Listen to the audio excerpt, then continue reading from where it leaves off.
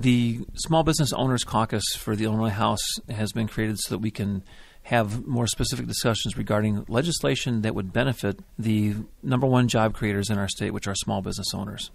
Uh, one of the campaign concepts we had was to f- ultimately form a small business caucus, and that has now been completed. There are so many issues facing Illinois